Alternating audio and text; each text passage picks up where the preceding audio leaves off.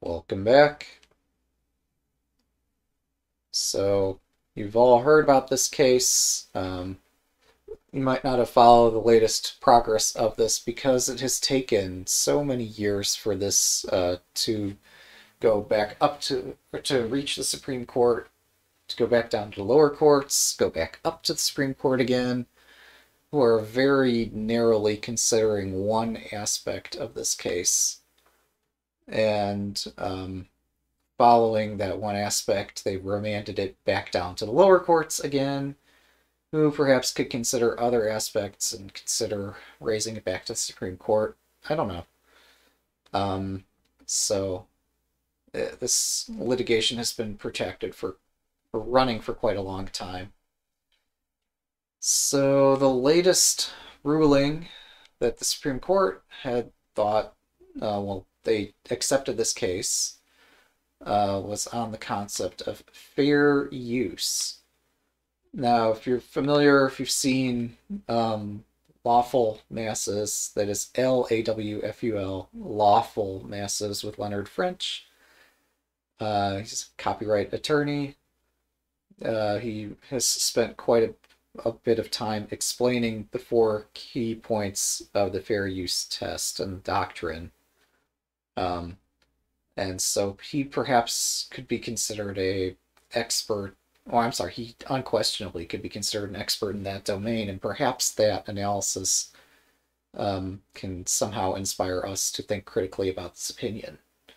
Um, so, the ruling in Google v. Oracle in this particular instance before the Supreme Court is six to two or was six to two.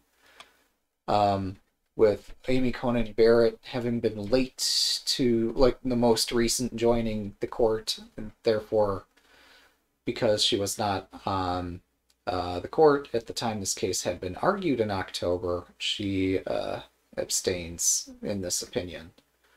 Um, but yeah, uh, Justice Stephen Breyer delivers the opinion of the court, and Justice Clarence Thomas, joined by Justice Samuel Alito, dissent from the opinion. And so this uh, courtesy of SCOTUS blog, James Ram Ramos or um, are explaining or summarizing the legal opinion, and they conclude this article stating that stay tuned for a deeper analysis coming soon. Um, but yeah, this is pertaining to the Android operating system, which uh, within Android itself, about 11,000 lines of declarative code from the Java Standard Edition um, library or platform had uh, these 11,000 lines of declaring just names of functions and APIs, not the underlying implementation, but the declaration of how a person would write a program and say, I'm going to implement a thing and I'm going to call it a java.lang.integer. And it's going to support the interface java.lang.number. And you can do things like add numbers and print them as strings and take a string and convert it into an integer and really really exciting stuff, I'm sure. Um, but all the underlying implementation uh, or Google had rewritten following trying to get a license with Oracle at some reasonable price, I presume, uh, for whatever the fair market value of uh, just being able to write code in Java. Um, because there are many people familiar with Java. Java is a powerful language. It runs on billions and trillions of devices. It's ubiquitous. It's uh, one of the easier languages to learn. It's taught at the high school level as part of the advanced placement tests. Uh, it's taught at colleges, universities around the world teach this language because it is for whatever challenges you might have with this language, it is well designed. And uh, Oracle had acquired it from Sun because uh, Oracle, well, we don't need to speculate why that occurred, but uh, suffice it to say, Java is a useful language. if for Oracle to have had an interest in purchasing Java from Sun. And so years ago, I might have opined on this saying, can you really copyright a language? And I think the more and more I hear about uh, copyright law these days, I'm starting to think, you know, maybe languages could be copyrighted. Um, and it's hard for me to say that, right? Because, I mean, looking at the track record of the companies at stake here, you'd think my interests would go opposite the opinion I'm expressing. You'd think that, hey, how great it is that we can create our own Java implementations and anybody is free to make their own Java. And this potentially causes some confusion because like copyright law exists to advance the arts and sciences, right? So it gives a limited monopoly, not like unlimited, but there's some for some period of time you have this limited monopoly and you're able to instead of concealing all your trade secrets, you're able to express like here I've developed this great language. Let me share my language with you and um, I could license whatever derivatives thereof are appropriate for me to license for a reasonable cost. Or maybe just choose not to license things at all if some competitor wants to take my language and start changing it and make it difficult for me to support. Um, so, yeah, this, um, anyway, Breyer writes that's assuming for the sake of argument yeah, just assuming so that so that the Supreme Court's able to say anything about this at all. They're assuming and remanding it back down to the lower courts to validate this that you know if the code could be copyrighted in this case google's copying is considered fair use by the supreme court by the fair use doctrine and their four point evaluation which we could look at in the opinion itself. Um, really, yeah, the fair use doctrine permits unauthorized use of copyrighted material in some circumstances, including when there's a transformative nature of this. And he writes Google re implemented a user interface. Where does this spell out for me, like, Breyer, tell us. Like, isn't every interface usable? Are you talking about a user interface? Are you talking about an interface as opposed to a user interface? Do you really understand what you're talking about here? Makes me wonder. Like, all interfaces have utility and use. Or potentially have this nature of being able to be used. That's why they're the boundary or the interface of the application. This is not a user interface. This is an API. This is a interface. But okay, taking only what was needed to allow users... Again, what do you mean by users here?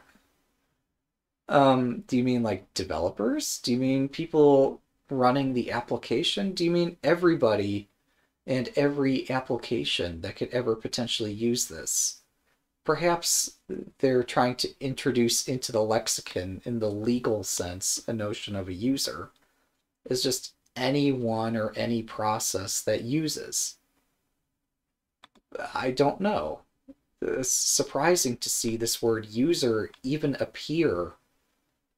I just don't get it um, but taking only what was needed to allow users to put their accrued talents to work in a new and transformative program. I'm not so sure about this either. Like, yeah, the okay, this um, taking only what was needed is the point I'm taking issue with here now. Um, yes, SCOTUS blog says check back soon for an in-depth analysis of the opinion. Credit to James Romoser for having produced this opinion, published it on SCOTUS blog. But yeah, we're going to take a minute and take a look at the dissent here because I think some critical questions are raised. So here's uh, Justice Thomas dissenting. Um, so, uh, and joined by Justice Alito. So Oracle has spent years developing a programming library. Can we zoom in this a bit so we can all read it together? Um, Oracle has spent years developing a programming library that successfully. Can I also dismiss the banner, please? I Suppose not. Um, okay, we'll just deal with it. Um, thus enhancing the value of Oracle's products.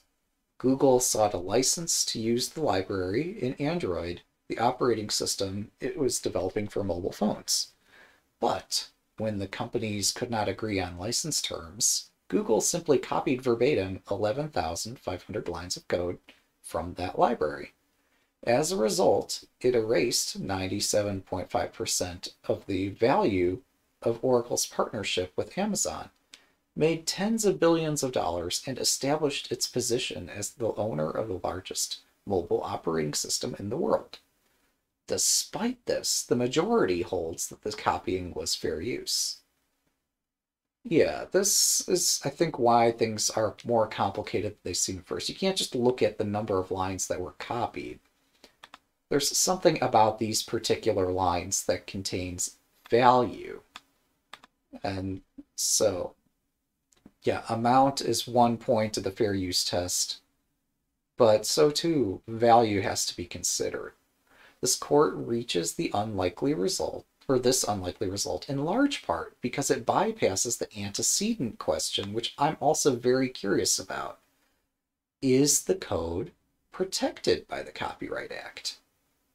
The majority purports to assume without deciding that the code is protected, but a fair use analysis is wholly inconsistent with the substantial protection Congress gave to computer code. By skipping over the copyrightability question, the majority disregards half the relevant statutory text and distorts the majority's fair use analysis. Properly considering that statutory text, Oracle's code is Oracle's code at issue here is copyrightable, and Google's use of that copyrighted code was anything but fair use. So yeah. Um, this is the perspective that uh, Justice Thomas comes from. Is that instead of considering like a lines of code thing, consider that the language itself does contain some value. We can quibble about what the numbers are, but does the language have any value at all? If the language has no value, why copy it? Are not these the 11,500 lines of code that most mattered in the application from the perspective of whatever Breyer would call a user? I'm just saying, I don't really know which side of this um, opinion I'd come down on. If an actual analysis were to be done and try to figure out is the code copyrightable, I'm just saying it looks like the Supreme Court hasn't done its homework. And um, I think a deeper analysis is warranted. Again, I'm not an attorney. These again, these are just my own opinions and thoughts.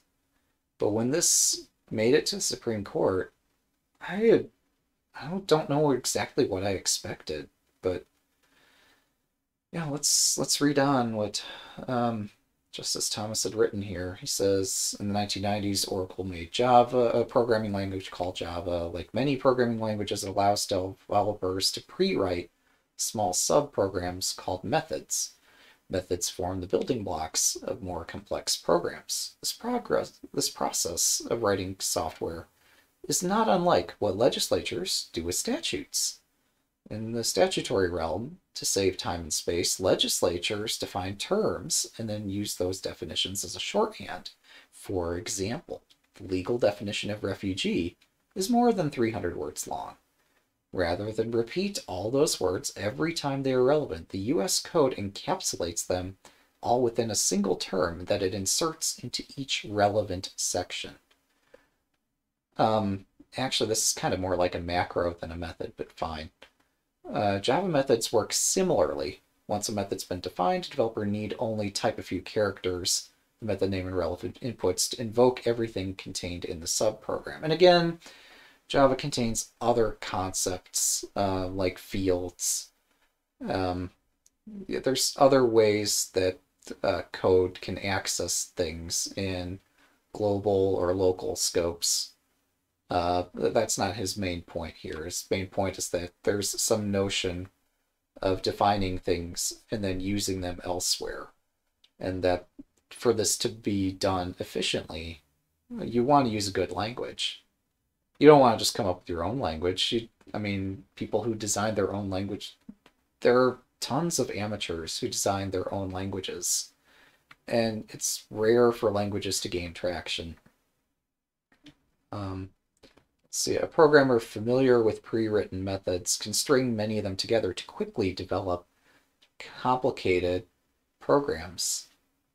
I think what he means is complex programs, things that have complex behaviors regardless of how simple the code itself is. Um, but yeah, really the value in writing software is being able to take various pieces and assemble together the most valuable product and then be able to have a good way to test and release and develop and test and release, develop, etc. Uh, just end up in this loop where you're able to efficiently put together pieces of your own software uh, in combination with other people's software in a very structured form. So again, you're just focusing on methods, but developers use two kinds of code. The first being the declaring code, names the method, defines the information that it can process and the you know, kind of data it can output. It is like the defined term in a statute. Actually, yeah, I think I understand why he's focusing on methods. It's because the 11,500 number given above. Um, the second, the implement, uh, implementing code, often colloquially referred to as implementation. Um, but yeah, run, includes the step-by-step -step instructions that make the methods run. okay. I mean, I get what he's getting at that's uh, technically that one way to interpret this. It's an interesting analogy, but okay. But yeah, it's like the detailed uh, definition in a statute. Fine. Uh, his clerks must have had fun writing this. Uh, Oracle's declaring code was central to its business model. It profited financially by encouraging developers to create programs written in Java. Yeah, Oracle's written books about like how you learn to write stuff in Java. They've had conferences about developing software in Java.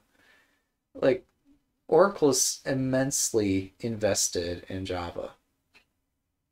And then they charge manufacturers a fee to embed Java into their devices.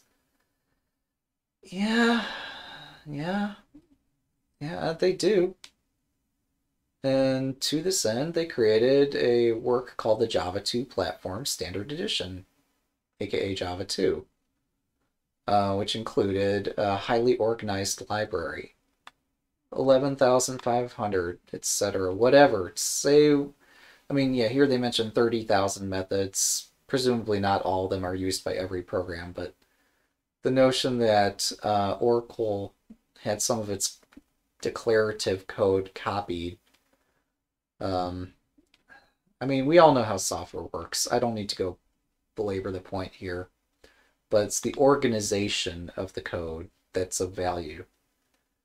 If somebody were to take, you could take the other 99% of it and just remove all the method declarations. You know, I would challenge the court to remove all the method declarations and write a program that can do anything useful. That's my challenge to the Supreme Court, to Justice Breyer. Remove all of the method signatures and show me a useful program that uses the 99% that was not considered in the analysis. I think um, Oracle could make some interesting points, but it's too late at this point. It's been argued before the Supreme Court. They're not going to welcome another question asking about fair use. It's um, so I think this dissent tries to set straight the record about where the value actually lies. Um, it doesn't rely like yeah here they provide an example static int max num xyz. Here's just a way you could write code. Doesn't really matter how these lines are written. What matters is that you have a function max num and it returns the maximum number. I don't care how you wrote it. It doesn't matter. What matters is that you have the declarative form of the code and that somehow some magic happens here that can, satisfies the condition in the contract. That's what makes Java powerful, among other things. Uh, the founder of Android, Andrew Rubin, understood that declaring code was copyrighted. So they uh, sought a custom license from Oracle at least four times, the two companies attempted license negotiations and were unsuccessful in part because of trust issues. When negotiations broke down, Google simply decided to use Oracle's code anyway, instead of creating its own declaring code, as Apple and Microsoft choose to do. Google copied verbatim 11,500 lines of Oracle's declaring code and arranged that code exactly as Oracle had done. It then advertised Android to device manufacturers as containing core Java libraries. Oracle predictably responded by suing Google for copyright infringement. The Federal Circuit ruled that Oracle's declaring code is copyrightable and that Google's copying of it was not fair use. And that's the Federal Circuit's opinion. So Federal Circuit has some smart people on it. Um, again, I don't know like if I'd come down the same way as either side. Both sides are arguing for some really strange, or they're rather arguing for some extreme um, perspectives here. Uh, Oracle would prefer not to be sued at all. I'm sorry, Oracle, Google would prefer not to be sued at all. Oracle would prefer to get something. And I don't know how you ultimately resolve this tension. Um, perhaps in the future, the legislature could consider some kind of copyright act that, um, I mean, yeah, here's the copyright law background in question. Patent law generally protects inventions. Library of uh, copyright law protects works of authorship. Library of code straddles these two categories. It's highly functional, like an invention, yet as a writing, it's also work of authorship.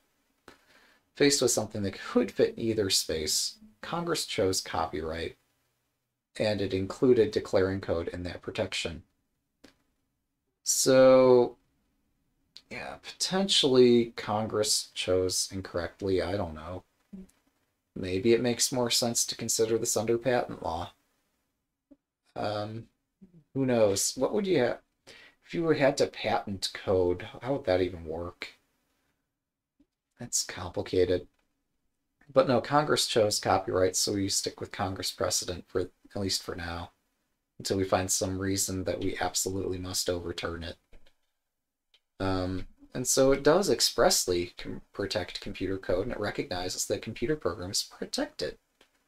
And it defines this this way and so forth, even without that express language um, about a uh, set of statements or instructions that can be used directly or indirectly in a computer in order to bring about a certain result, uh, which obviously includes code. Um, even without the express language in the Copyright Act, um, yeah, this would satisfy the general test for copyrightability. So, yeah, the question is not, is the code copyrightable? The question is, is this fair use? And as uh, Thomas points out above, it doesn't look like fair use to him. Um, are there other points to consider? Um, okay, so Google acknowledges the cop implementing code is protected by the Copyright Act. So this is an interesting position too. So Google acknowledges that the 99% part other than the declarative code is protected. And then Google contends that the declaring code is much more functional, much more abstract, and a method of operation outside of the scope of protection. And Thomas says, well, that argument fails, as the majority correctly recognizes declaring code and implementing code are inextricably bound. Declaring code defines the scope of an implementing code and gives a programmer a way to use it by shortcut. Because declaring code incorporates implementing code, it has no function on its own. Implementing code is similar. Absent declaring code, developers would have to write every program from scratch, making complex programs prohibitively time consuming to create. The functionality of both declaring code and implementing code will thus uh, typically rise and fall together. So, yeah, this particular argument that, hey, we were just using the declaring code, that just, yeah, it lies in the face of reason. I, I don't understand this particular argument. Many other arguments I could understand, but this one, yeah, like I was saying earlier, good luck writing any kind of useful program without the declaring code. And given the declaring code, writing the implementation seems pretty trivial. Um, so comparing um, it like trivial in the sense that if you had to like completely invent a language from scratch, that's a much harder task than just uh, writing the implementation for an existing declaration. The design of language has value. How much value does it have? We don't know. How limited should the time of a copyright be for software? I'm not sure. Um, but yeah, these uh, and that's not going to be decided anytime soon either. I doubt it.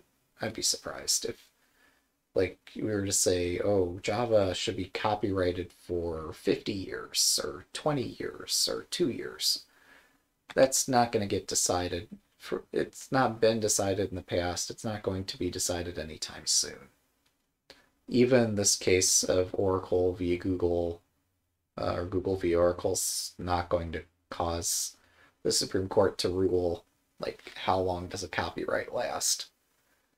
There's I'd be astounded if the lower court then brought up the point that like well how long does copyright last? Um yeah, it seems to me like the lower court's not going to have an opportunity to bring that up, but even if they did, I don't know. There's really not too much precedent, although time will build a precedent for this. But yeah, I, I'm curious just how many decades it will take to build up that precedent until the court actually opines on duration of copyright. Um, so yeah, Google's argument can also not account for Congress' decision to define it as a set of statements or instructions used directly or indirectly in order to bring out a certain result. Hence, Congress rejected any categorical distinction between declaring and implementing code, and uh, yeah, so yeah, hence method of operation, etc. Yeah, what has me curious is just how what the limitation on damages from copyright infringement is. I'm curious how that calculus could work, other than in this insurance sense of let's gamble and see whether we get away with it or not. There has to be something on the other end of, okay, we didn't get away from it. We didn't get away with uh, this plagiarism if it is that. Um, what's the maximum in damages you'd have to pay in such a case? How would you uh, you have to come up with some way with evaluating or evaluating a language and saying how much is a reasonable fee to be charging, which seems you'd more likely settle that out of court than actually publish the number, but I'm curious. Google also contends that declaring code is not copyrightable because the merger doctrine bars copyright protection when there's only one way to express an idea. This is the other thing I find astounding. Um, there is more than one object-oriented language in the universe. There's Python, there's C++, there's Ruby, there's J, there's D, there's all these other object-oriented languages out there. There is not only one way to express an idea. So that particular argument nobody's buying. I, I don't even think the majority accepted that particular one. Um, so the court inexplicably declines to address copyrightability. Its sole stated reason for declining to address is that technological, economic, and business related circumstances are rapidly changing. That, of course, has been a constant where computers are concerned. Rather than address the principal question about copyrightability, the court simply assumes that declaring code is protected and then concludes that every fair use factor favors Google. I agree with the majority that Congress did not shield uh, computer programs from the ordinary application of fair use, but the majority's application of fair use is far from ordinary. By skipping copyrightability, the majority gets the methodology backward, causing the court to sidestep a key conclusion that ineluctably, I'm not familiar with this word, but I think this means without eluding. It ineluctably uh, affects the fair use analysis. Congress rejected uh, categorical distinctions between declaring and implementing code. The majority creates just such a distinction the result of this distorting analysis is an opinion that makes it difficult to imagine any circumstance or yeah circumstance in which copywriting code or declaring code will remain protected by copyright. And this this last point here this the result of this distorting analysis is an opinion that makes it difficult to imagine any circumstance in which declaring code will remain protected by copyright. That is why I am talking with us today. So, yeah, that's the concern. Really, I don't have a particular stake as far as I know in this outcome of this, um, whether Google wins or Oracle wins or what even you call winning. I don't have a stake in that outcome as far as I know. Um, I know Java is a great language. It's um, fairly accessible. There are some things I don't like about it, but it is what it is. It's um, ubiquitous.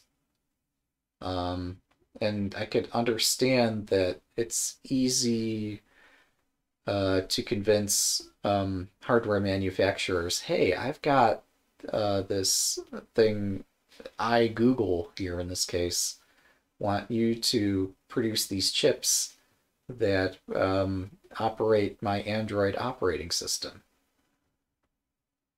Arguably, an Android operating system, maybe that is fair use. I'm actually curious because that seems to be like the one thing that the transformative nature of that could completely tip the scale against everything else I'm talking about today. But what I'm concerned about today is that the result of this distorting analysis, that somehow there is this difference between declaring and implementing code.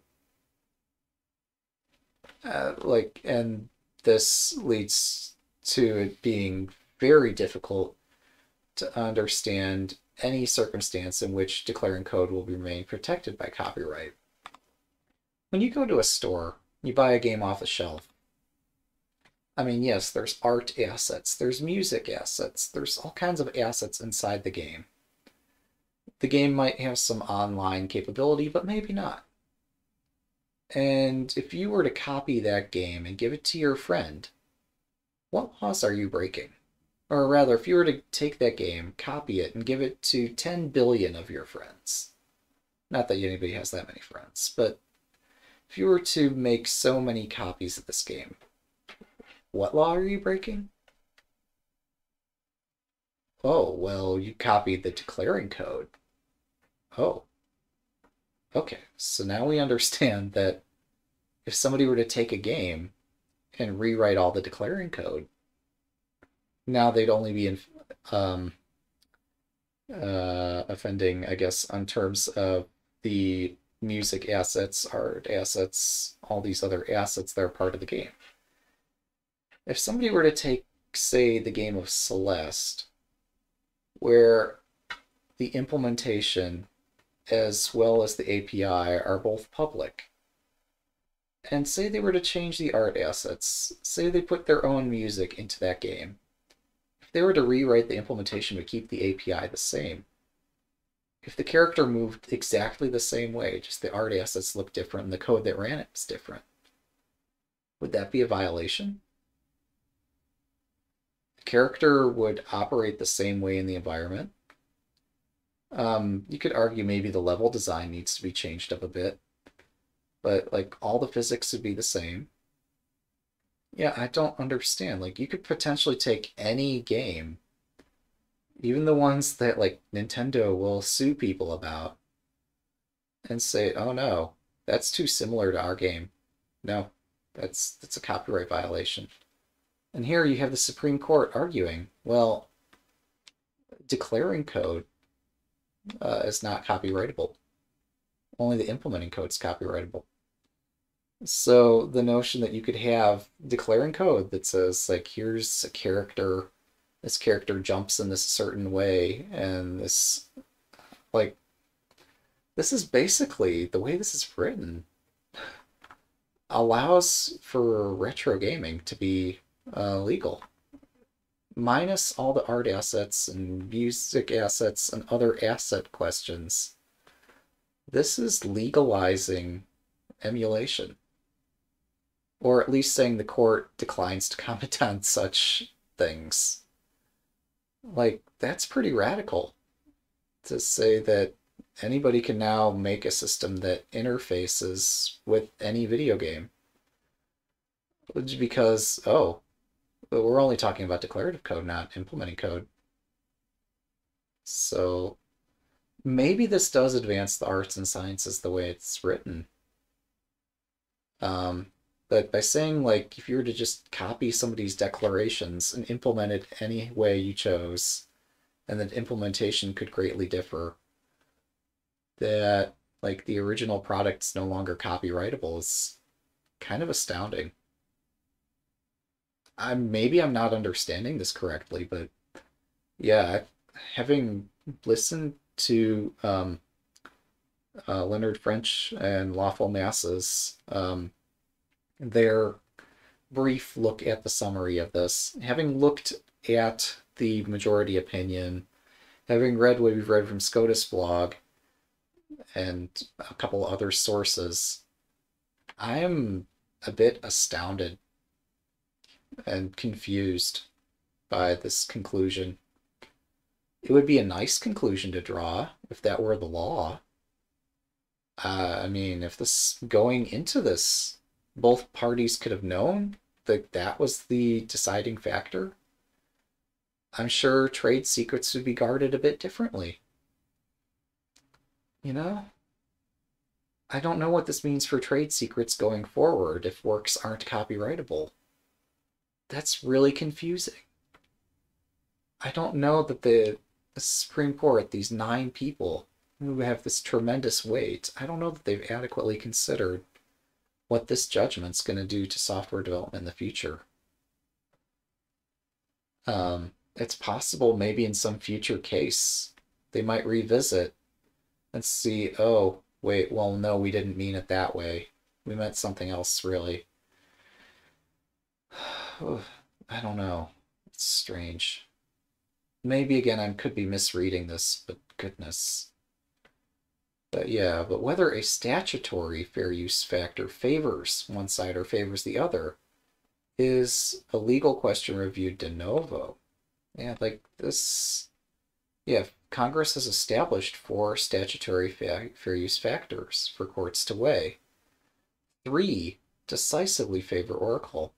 And even assuming that the remaining factor favors Google, that factor, without more, cannot legally establish fair use in this context.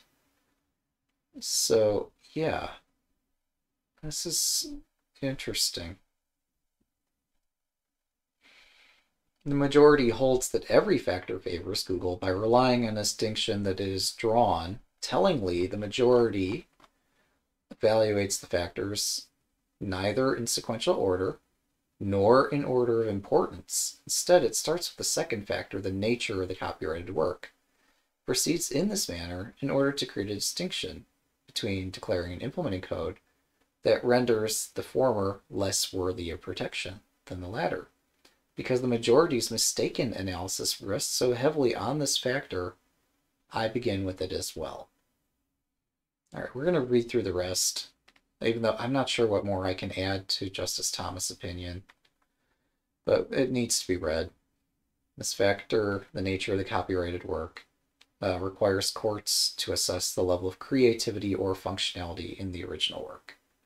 It generally favors fair use when a copyrighted work is more informational or functional than creative. Um, so because code is predominantly functional, this factor will often favor copying when the original work is computer code.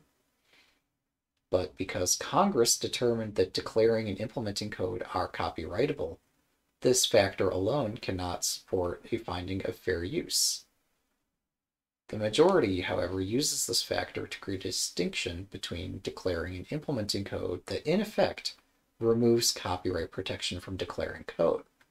It concludes that unlike implementing code, declaring code is far from the core of copyright because it becomes valuable only when third-party computer programmers value it and because it is inherently bound together with uncopyrightable ideas. Uh, from the same opinion up at 23 to 24. Uncopyrightable ideas. Okay. Congress, however, rejected this sort of categorical distinction that would make declaring code less worthy of protection. The Copyright Act protects code that operates in a computer in order to bring about a certain result, both directly implementing code and indirectly declaring code. Section 101 of the Copyright Act. And if anything, declaring code is closer to the core of copyright. Uh, developers cannot even see the implementing code. Uh, from another opinion, uh, from another judgment here. See also ante at 23, declaring code as user-centered. Implementing code that thus conveys no expression to developers. Declaring code, in contrast, is user-facing. It must be designed and organized in a way that is intuitive and understandable so developers or to developers so they can invoke it. Even setting those concerns aside, the majority's distinction is untenable true declaring code is inherently bound together with uncopyrightable ideas. Is anything not? Books are inherently bound with uncopyrightable ideas. The use of chapters, the use of having a plot, of including dialogue or footnotes, this does not place books far from the power of copyright. And implementing code, which the majority concedes is copyrightable, is inherently bound up with the division of computing tasks that cannot be copyrighted. We have not discounted a work of authorship simply because it's been associated with non-copyrightable ideas. While ideas cannot be copyrighted, expressions of those ideas can be copyrighted. I mean, he's citing a source, but like, duh, expressions can be copyrighted. Like, yes, this is a well understood standard. Uh, similarly, it makes no expression or difference that the declaring code depends on how much time third parties invest in learning it. Many other copyrighted works depend on the same. A Broadway musical script needs actors and singers to invest time learning and rehearsing. But a theater cannot copy a script, the rights to which are held by a smaller theater, simply because it wants to entice actors to switch theaters, and because copying the script is more efficient than requiring actors to learn a new one. So, yeah, I think Justice Thomas is just trying to make the point here that you need to do the analysis. You can't just not do your homework. There could be other factors that weigh in favor of this, but um, you still need to do the analysis. The majority says of declaring code is no less true of implementing code. Declaring code is how programmers access pre-written implementing code. The value of that implementing code is thus directly proportional to how much time programmers use the associated declaring code. The majority correctly recognizes that declaring code is inextricably bound up with implementing code, but it overlooks the implications of its own conclusion. Only after wrongly concluding that the nature of declaring code makes that code generally unworthy of protection does the court move on to the other factors. This opening mistake taints the court's entire analysis.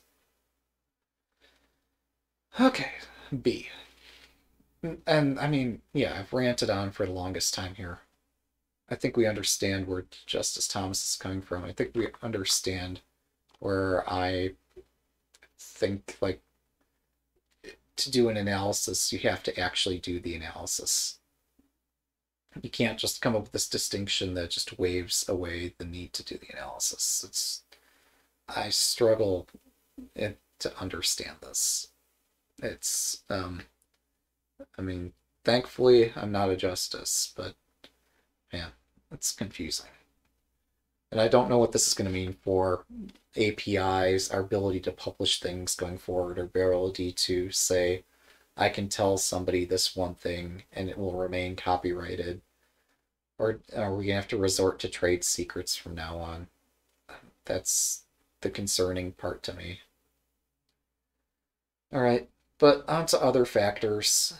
Let's suppose that somehow the main majority opinion still maybe applies somehow, despite missing this key point. Undoubtedly, the single most important element of fair use is the effect of Google's copying upon the potential market for or value of Oracle's copyrighted work. As the Federal Circuit correctly determined, evidence of actual and potential harm stemming from Google's copying was overwhelming. By copying Oracle's code to develop and release Android, Google ruined Oracle's potential market in at least two ways. First, Google eliminated the reason manufacturers were willing to pay to install the Java platform. Google's business model differed from Oracle's. While Oracle earned revenue by charging device manufacturers to uh, install the Java platform, Google obtained revenue primarily through ad sales. Its strategy was to release Android to device manufacturers for free, and then use Android as a vehicle to collect data on consumers and deliver behavioral ads. With a free product available that included much of Oracle's code, and thus with similar programming potential, device manufacturers no longer saw much reason to pay the, to embed the Java platform. For example, before Google released Android, Amazon paid a license to embed the Java platform in Kindle devices. But after Google released Android, Amazon used the cost-free availability of Android to negotiate a 97.5% discount on its license fee with Oracle. Evidence at trial similarly showed that right after Google released Android, Samsung's contract with Google dropped from 40 million to about 1 million. Google contests none of this except to say that Amazon used a different Java platform. Java Micro Edition instead of Java Standard Edition. That difference is inconsequential because the former was simply a smaller subset of the latter. Google copied code found in both platforms. The majority does not dispute or even mention this enormous harm.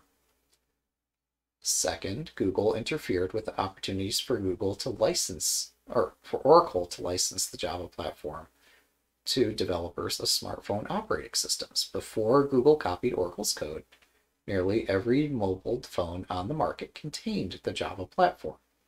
Oracle's code was extraordinarily valuable to anyone who wanted to develop smartphones, which explains why Google tried no fewer than four times to license it. The majority's remark that Google also sought other licenses from Oracle ante at 33 does not change this essential fact. Both parties agreed that Oracle could enter Google's current market by licensing its declaring code. By copying, but by copying the code and releasing Android, Google eliminated Oracle's opportunity to license that uh, its code for fair use.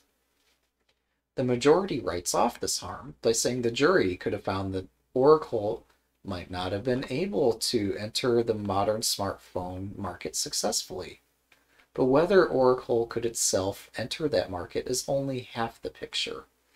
We look at not only the potential market that creators of original works would in general develop, but also those potential markets the copyright holder might license others to develop. A book author need not be able to personally convert a book into a film, so long as he can license someone else to do so. That Oracle could have licensed its code for Android is undisputed. Unable to seriously dispute that Google's actions had disastrous effect on Oracle's potential market, the majority changes course and asserts that enforcing copyright protection could harm the public by giving Oracle the power to limit the future of creativity on programmers on Android. But this case concerns only versions of Android released through November 2014. Um, let's see, order number 10. Google has released six major versions since November 2014 only about 7.7% of active Android devices still run the versions at issue.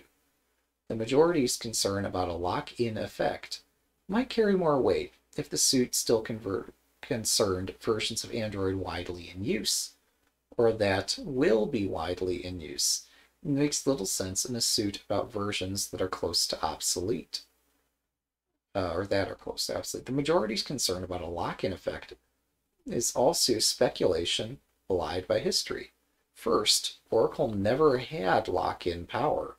The majority again overlooks that Apple and Microsoft created mobile operating systems without using Oracle's declaring code. Second, Oracle always made its declaring code freely available to programmers. There's little reason to suspect Oracle might harm programmers by stopping now. And third, the majority simply assumes that the jury, in a future suit over current Android versions would give Oracle control of Android, instead of just awarding potential damages or perpetual royalties. If the majority is going to speculate about what Oracle might do, it should at least consider what Google has done. The majority expresses concern that Oracle might abuse its copyright protection on Android, outdated Android devices and attempt to monopolize the market but it is Google that recently fined a record 5 billion for abusing Android to violate antitrust laws. Hmm, the European Commission. Um, European Commission press release Commission fines Google uh, 4.34 billion for illegal practices regarding Android mobile devices to strengthen dominance of Google's search engine. Google controls the most widely used mobile operating system in the world. And com companies can now freely copy libraries of declaring code whenever it is more convenient than writing their own, others will likely hesitate to spend the resources Oracle did to create intuitive, well-designed libraries that protect that attract programmers and could compete with Android. If the majority is worried about monopolization, it ought to consider whether Google is the greater threat. By copying Oracle's work, Google decimated Oracle's market and created a mobile operating system now in over 2.5 billion actively used devices, earning tens of billions of dollars every year. If these effects on Oracle's potential market favor Google, something is very wrong with our fair use analysis. Now that's, again, that's Justice Thomas' opinion. Um, so let me think. If these effects on the Oracle's potential market are in favor of Google, then something is wrong with our fair use analysis. I'm trying to think if there's any way I could rebut this. Um, so again, these are just two points in in the four-point fair use evaluation. Surely the other two points cannot stand, right? Purpose and character of the use. Second most important factor the purpose and character of the use, including whether such use is a commercial nature or for a nonprofit. Well, I'm sorry, let me back up a little bit. Um, it's true that Google rate reduced and greatly reduced Oracle's market. I don't think it's as clear cut as is expressed by Justice Thomas here. I do think that, um, you know, Google could have produced an API. And they have a lot of smart people there at Google. They didn't have to copy the API. They could have come up with something compelling. Uh, they probably still would have ended up before a court uh, because there'd be this same business tension where Google creates an API that functions very similar to what they've done. Um, so I think we'd still. Hmm, I'm not sure. Um, I think probably we would have seen Oracle's sales greatly decline because Google has smart people. They would have come up with an, with some fairly reasonable API that didn't outright copy. Uh, I think Oracle's case would be weaker if Google had simply produced something and not made it the same thing as Java. Um, I think it is possible to innovate.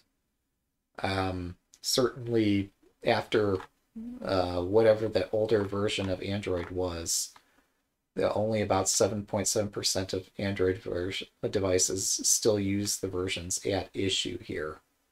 So, yeah, Google innovates they could have innovated um, as they have shown their capacity to do. Um, in this case, for anything after November 2014, Google has definitely innovated. Um, they really didn't have to step on what Oracle was doing. It's possible this um, Oracle's market was doomed anyway that's a mitigating concern. But no, in terms of just the base fair use analysis, Thomas might be right. I don't think we're going to reach the same conclusion that Thomas reaches that, um, yeah, no, like this, the majority simply assumes that the jury in a future suit would uh, give Oracle control instead of just awarding damages. Yes, so I think this is the piece here that like what would damages even be in a case like this? Where uh, Java was copied there are damages. It's not unlimited damages. There are definitely a lot of mitigating concerns at play here that favor Google. But um, yeah no I think the notion that our full fair use analysis just completely favors Google is confusing. So yeah, I think Oracle, at least on those first two points of the fair use analysis, it strongly favors Oracle, but there are many mitigating circumstances which will reduce the amount of damages that are awardable. It'd be how I would assume that would play out. And I'm astounded. Well, anyway, we haven't read the main opinion yet. I've skimmed it. It's the same as all the newspapers and articles and SCOTUS blog report it to be. It's exactly what you'd expect, but it's this dissent that's interesting. Second most important factor the purpose and character of the use, including whether the use is of a commercial nature or for nonprofit educational purposes, requires us to consider whether the use was commercial and also to consider whether it was transformative. And um, yeah, beginning with the overwhelming commercial nature of Google's copying. You know, I wonder just because Google obviously is this entity, it's a corporation, just because they do business, does that mean that the copying of an API is commercial?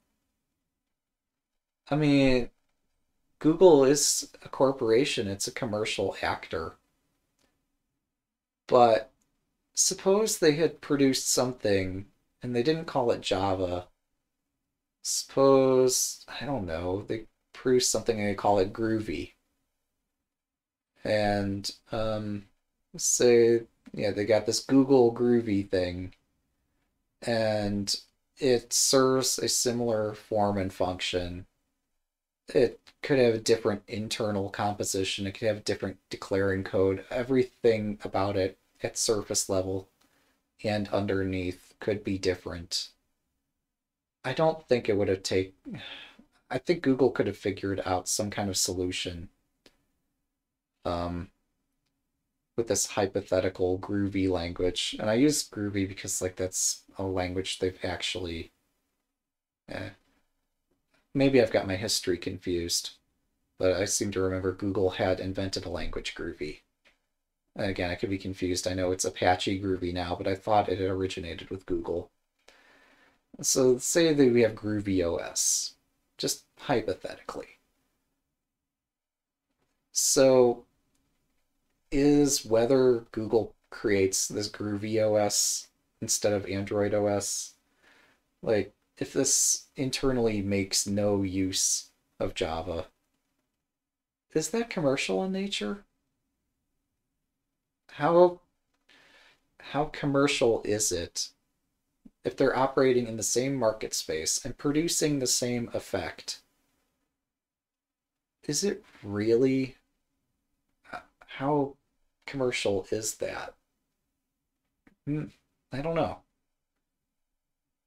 Like if they produce if they compete in the same space and could just as easily, I mean, it, arguably training developers, learning this new language, um, all this extra work that would have been required to do so.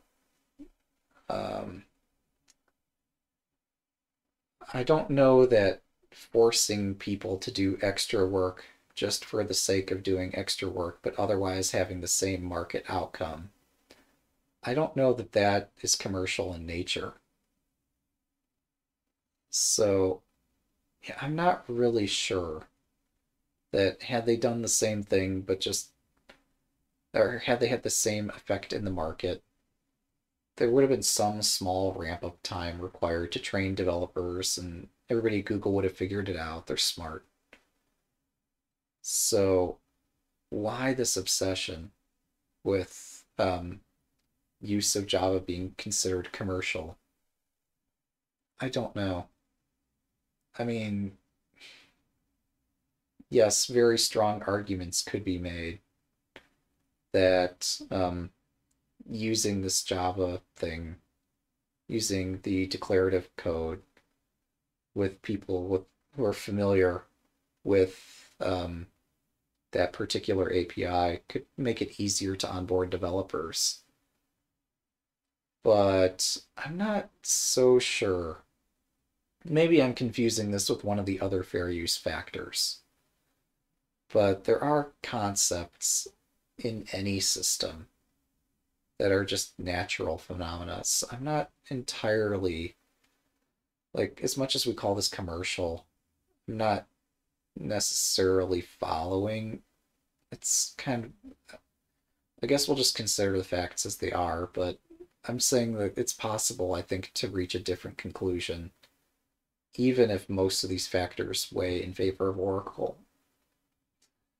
So I don't think it's so clear, and I could be confused, and my analysis could be poor, but I'm doing the best I can to try to challenge this and attempt to think critically about it, uh, as is everyone. Um, and whether this is transformative. So, again, with the commercial nature of the copying, yes, so there's business at play. Majority attempts to dismiss this by noting the commercial use does not necessarily weigh against fair use. Um, true enough, commercial use sometimes can be overcome by use that is sufficiently transformative but we can ignore Google's intended purpose of supplanting Oracle's commercially valuable platform with its own. You know, I'm not sure. So this implies that just because Oracle owns this language, that the, their ownership of the language is valuable.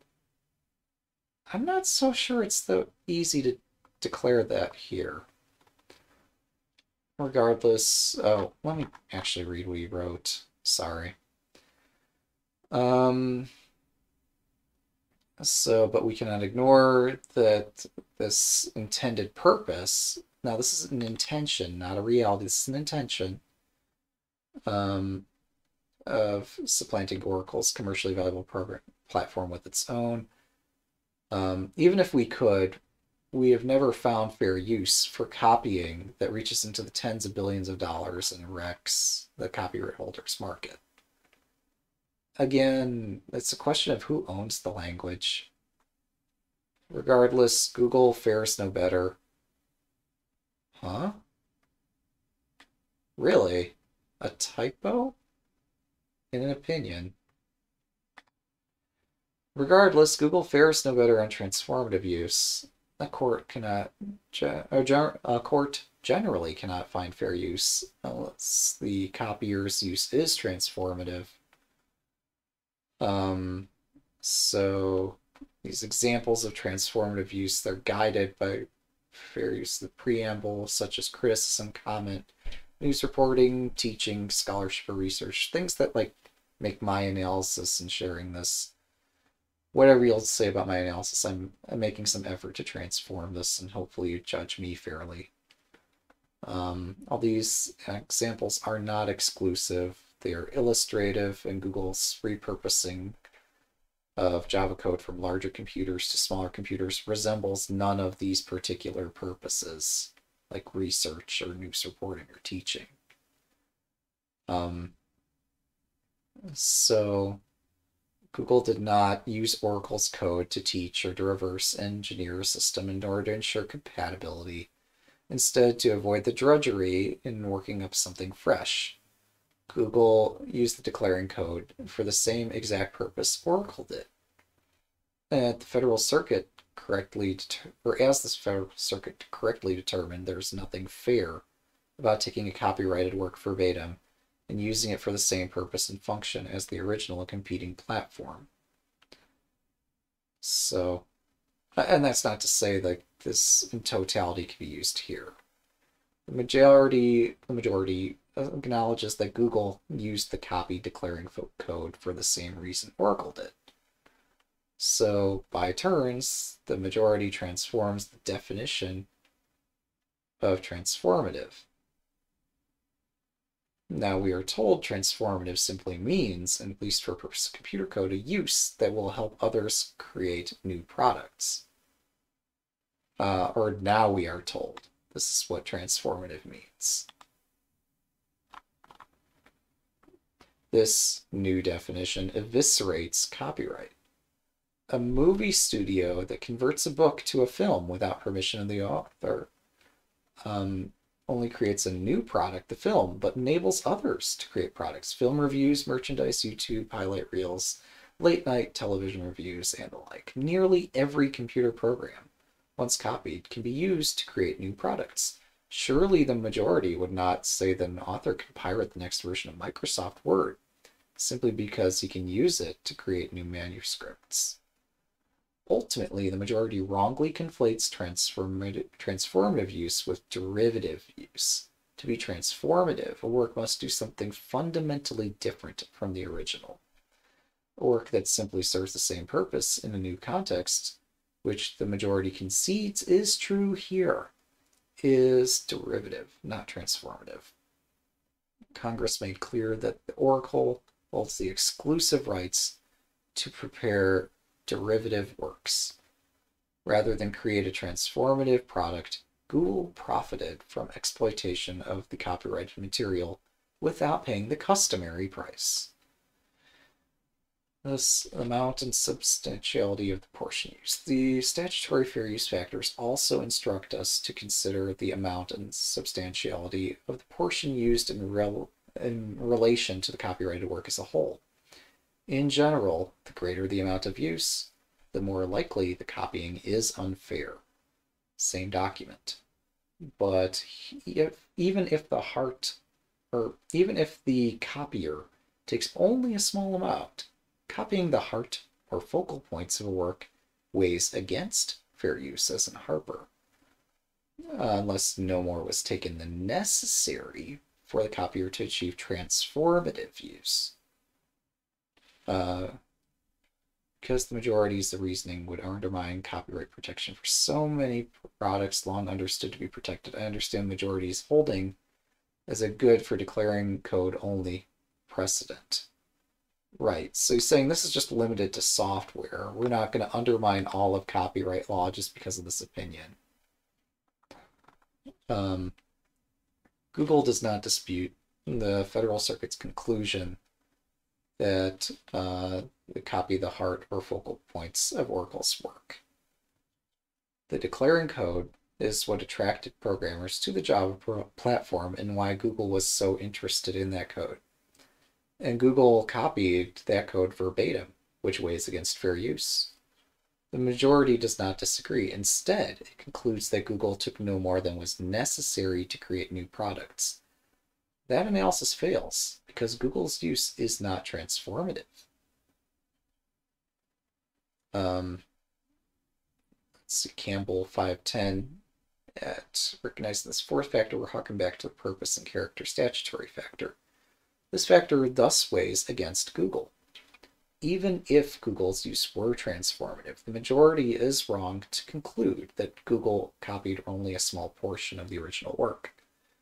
The majority points out that the 11,500 lines of declaring code, enough to fill about 600 pages in appendix, in the legal appendix, um, or just a fraction of the code uh, in the Java platform.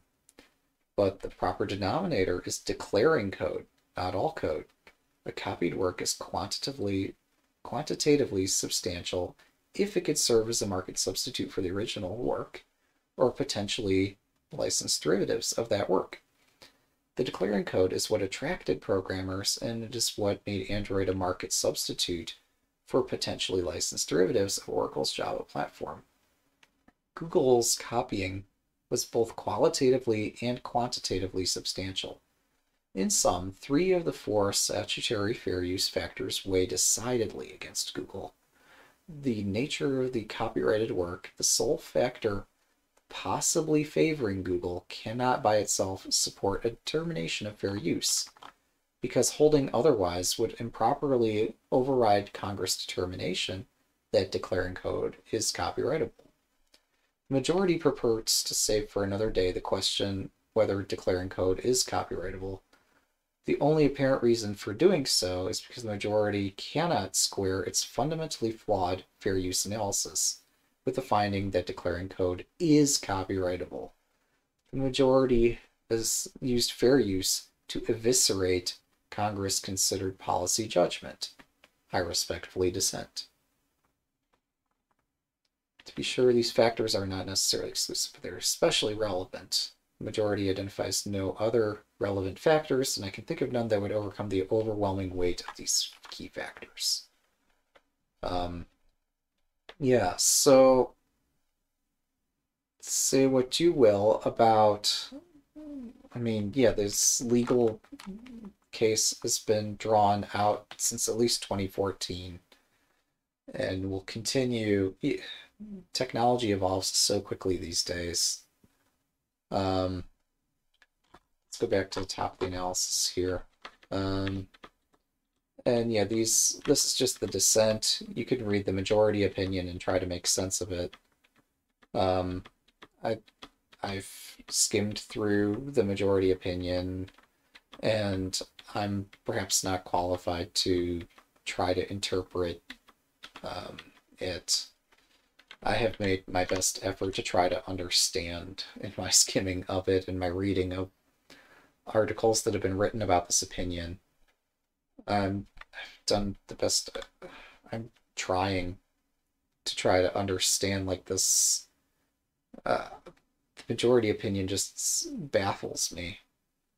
Um, I think the notion that this has gone all the way up to the Supreme Court is kind of amazing because um, I mean, yes, the parties in the case here are certainly competing, but this is going to be a finding over uh, whether or not there are damages. I mean, ultimately, this is what it comes down to in this case: is um, was Oracle damaged in terms of a copyright law violation? And if um, Oracle was damaged, what's an appropriate way to um, award damages in this case? Um, you could argue that legal fees could go could be paid. You could argue that um, whatever the actual damages are. I'm sorry. There's a couple ways you could weigh the uh, how much the damage should be um, potentially the damages could be as little as um, well one the legal fees and two if we constructed this alternate history where google had not violated the copyright but did everything else um, where google had just said you know we're going to produce our own language we're going to produce our own operating system and had otherwise had exactly the same market effect. Um, minus that it would just been more painful for developers and engineers and salespeople and everybody up and down the chain would have had this extra inconvenience with of having to learn a new language that has all the same capabilities as the old language. Um, or rather, maybe it wouldn't have all the same capabilities. Maybe it would not completely usurp the market at first. Maybe in this alternate history, um, it would have taken a few years for people to realize just that Google knew what it was doing and that they produce a compelling product that works excellently in the same space where Microsoft and Apple have not really succeeded in producing um, the same kind of market that Google has. Let's just say, for argument's sake, that in this alternate history, like it takes Google one extra year, but otherwise they have exactly the same market effect that nobody wants to pay Oracle uh, the licensing fees to embed these chips and the manufacturing fees, and they'd rather pay um, uh, They'd rather install these other chips and deal with the ad revenues and such. I think that ultimately was going to prevail anyway. Google knows what it's doing with advertisements, knows what it's doing with information collection. I think ultimately um, the amount of damages here are not as high as um, people think they are. And that kind of analysis, it's not something the Supreme Court wants to touch, just how much should be awarded, because that would require an extremely long, drawn out analysis that really could be handled by any of the lower courts. The Supreme Court would rather address, um, spend its time addressing more complex matters um, than just, or rather, higher order matters. They don't want to get stuck in the weeds of that kind of analysis. Would rather remand that down to lower courts to figure out just how much the damages would be. I think ultimately, um, yeah, Oracle's business model and Google's business model, uh, just if you compare those two business models, you'll see like the there yes java is valuable but the business model itself also contains value. So and i think uh, justice thomas also agrees this in part three of his analysis that um, well how much would the damages be that we're even arguing about here? Um, and he suggests um, whether this favors one side or the other, if you had to consider fair use and you had to devise, if you had to split the baby here on these four points, and the Supreme Court had to make a decision, um, they could make some kind of precedent that expands upon Congress's law and says which factors could be weighed in which ways. And um, so, yeah, I forget where it is in this opinion, but um, he states that we don't have to assume that the jury is necessarily going to award the largest possible damages and fees and whatever. We don't have to dis- assume that um, this is going to break Google. Um, I mean, the jury is free to do as it will, but yeah, I can't find the statement here. Sorry about that. But somewhere there was a statement to the effect that um, even supposing that we did the fair use analysis, and even supposing that Oracle comes out on top of this judgment, we don't have to also suppose that this is going to just destroy Google. Um, so, yeah, that's. I'm so confused. Um, I guess I'll have to ask around to try to better understand what was going on here, because I had been long awaiting this de novo review to try to better understand these four use these four factors of a fair use analysis and how they weigh against each other. This is something many people I think have been waiting for. It's like give us another way that we could consider weighing these. And the Supreme Court really didn't want to weigh in on that kind of thing.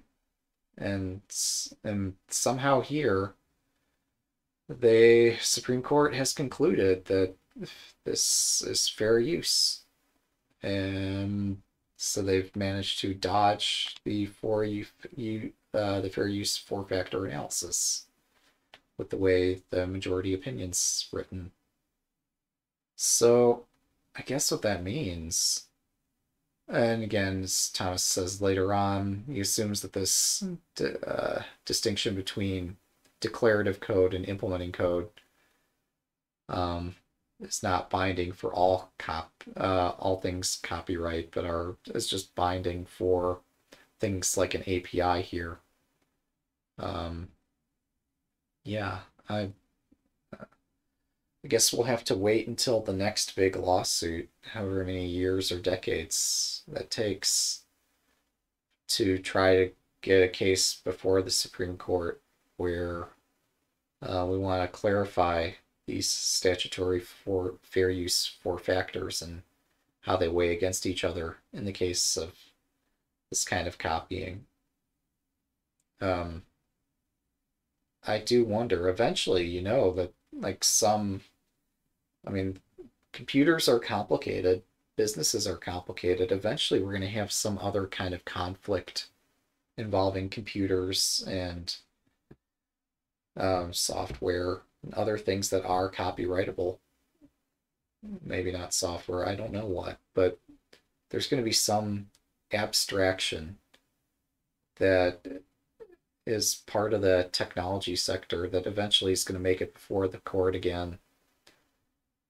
And I wonder how that next case, whatever it is, whoever is involved, I wonder how that's going to pan out.